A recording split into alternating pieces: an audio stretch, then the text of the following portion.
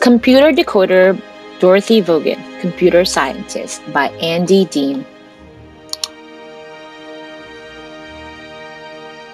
Dorothy Vaughan was a computer during the 1940s and 1950s, but she wasn't a computer like the computers you might see at school. Dorothy was a human computer.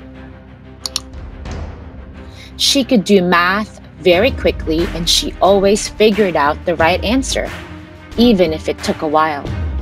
Numbers made sense to Dorothy. In school, she studied very hard and went to college. Back then, it was unusual for a woman to go to college. It was even more unusual for an African American woman to go to college. After college, Dorothy became a math teacher. Numbers still made sense to Dorothy. But she was allowed to teach only African American children. She didn't earn much money as a teacher. She worried about sending her own children to college. Dorothy looked for a new job that paid more money.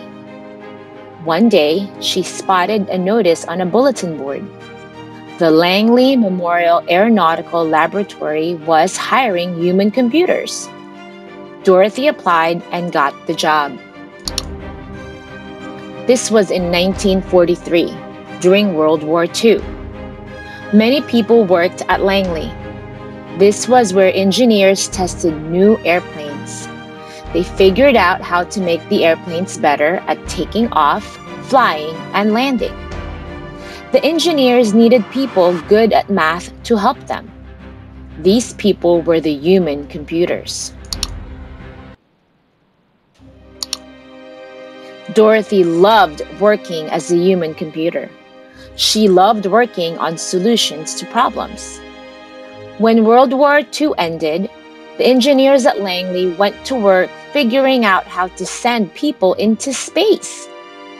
Dorothy was excited to be a part of the team.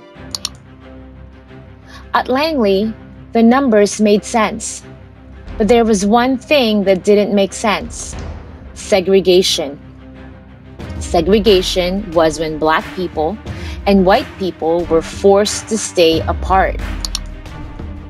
At Langley, segregation was the rule black people and white people were made to work in different areas.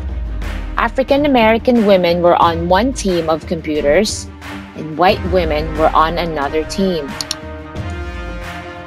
Dorothy didn't let this stop her. She worked hard. She worked smart. She became the first African American supervisor at Langley. Dorothy spoke up for equal rights for all people whether they were black or white. That made sense to her. Langley stopped segregating people when the company became NASA in 1958. One day, Dorothy felt a strange vibration in the floorboards at Langley. Is it an earthquake? Giant trucks? No. The shaking was caused by a computer. Not a human computer like Dorothy, an electronic computer. The electronic computer worked much faster than a human. How can I work with this machine? Dorothy asked herself. Dorothy decided to learn something new. This made sense to her. She went to classes and read books about computers and programming. Dorothy became an expert at writing computer code. She helped the other human computers learn computer code too. The work Dorothy did with computers helped send a man into space. Dorothy never stopped learning, even when she was a very old woman. This just made sense to Dorothy. Here's an activity that you could follow. You can code a bracelet, read some of the quotes by Dorothy Vaughan, and see her timeline.